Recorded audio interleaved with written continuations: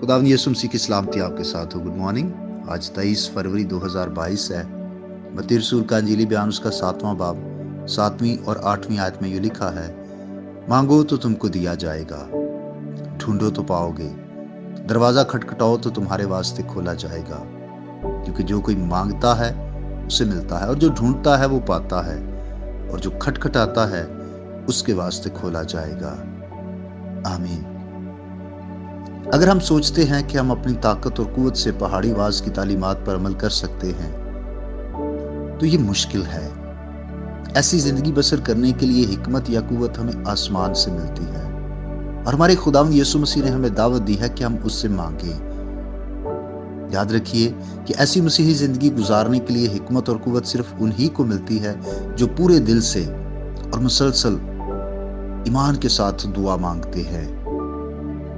अगर इन आयात को सियाकुस बाग से अलग करके देखा जाए तो फिर तो ये आयात ब्लैंक चेक की तरह मालूम होती हैं। यानी आप जो कुछ चाहें, आपको हासिल हो जाएगा। लेकिन जब हम दुआ के इस मजमून पर बाइबल मुकदस की सारी तालीमात को देखते हैं तो ये हमें समझ आता है कि दुआ मांगने वालों की ज़िंदगी में कोई ऐसा गुनाह नहीं होना चाहिए कि जिसका उन्होंने इकरार ना किया हो। बदी मेरे दिल विच जे होवे जरा, कदी भी ना मेरी सुनेगा खुदा। अगर हम चाहते हैं हमारी दुआएँ सुनी जाएँ तो ज़रूर है कि हम बदी को अपनी ज़िंदगी से निकालें। अगर हमसे गुनाह हुआ है तो हम खुदा के सामने इकरार और इतराफ करें। और फिर यह भी ज़रूरी है कि हमारी दुआ ईमान के साथ हो। याकूब के खत में इस बात की वजाहत की गई है कि अगर हम शक के साथ मांगेंगे तो हमें नहीं मिलेगा। और हमारे खुदा यसु मसीह ने भी हमें यही तालीम दी थी कि जो कुछ तुम दुआ में ईमान के साथ मांगोगे और फिर यह भी ज़रूरी है कि दुआ खुदा की मर्ज़ी के मुताबिक हो। मुमकिन है आप किसी बात के लिए दुआ करते रहें। आपकी तो वो मर्ज़ी है, लेकिन खुदा की मर्ज़ी ना हो। तो उसका मिलना मुश्किल है। इसलिए यह भी ज़रूरी है कि जो कुछ हम मांग रहे हैं, वो खुदा की मर्ज़ी के मुताबिक हो। और फिर सच्चे दिल से हमें दुआ मांगनी है। इन आयात को जिसको हमने तलावत किया है। बाइबल मुकदस की मशहूर तरीन आयात में से हैं। इसका एक्चुअल जो टेक्स्ट है, यूनानी का, उसके मुताबिक इसकी जो ट्रांसलेशन है, वो है, मांगते रहो तो तुमको दिया जाएगा।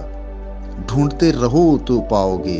दरवाज़ा खटखटाते रहो। इसका मतलब ये है कि ये एक दफ़ा करने वाला काम नहीं है, बल्कि ये एक मुसलसल अमल है, जो एक ईमानदार को अपनी ज़िंदगी भर करना है। मांगते रहना है। और ढूंढते रहना है, दरवाज़ा खटखटाते रहना है तो फिर खूबसूरत वादा है कि जो ऐसा करता है, उसको मिलता है, वो पा लेता है और उसके वास्ते खोला जाएगा। इसलिए अज़ीज़ भाई और बहनों, अगर आप खुदा से कुछ चाहते हैं और इस पहाड़ी बाज की तालीमत पर अमल करना चाहते हैं तो मांगते रहें। खुदा आपको बरकत दे। आइए हम दुआ करें। प्यारे आसमानी बाप, हम तेरा शुक्रिया अदा करते हैं कि तू दुआओं का सुनने वाला है। बख्श दे खुदा कि हम अपनी ज़िंदगी से रोज़ बरोज़ उन कमियों, खामियों और गुनाहों को निकालने के लिए तुझसे मदद मांगते रहें।